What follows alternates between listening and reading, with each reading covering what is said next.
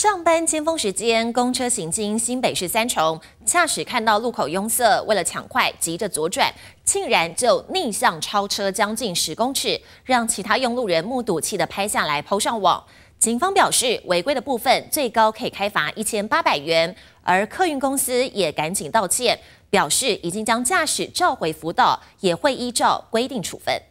上班尖峰时间，路口有点塞，绿灯亮起，其他驾驶乖乖排队，慢慢跟着移动往前开。只是这辆公车要左转，似乎等不及，驾驶心一横，干脆直接横跨双黄线往前冲。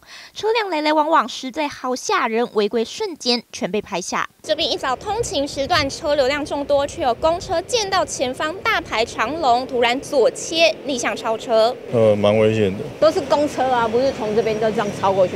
早上塞车。嘛，这开不过去啊，路口太小了，大卡车比较会啊。附近居民说，新北市三重这边的道路比较窄，拥塞情况蛮常见，但公车驾驶载客还敢违规，实在不得不让人捏把冷汗。上重阳桥的车流量太大，那回堵到这边已经有三个。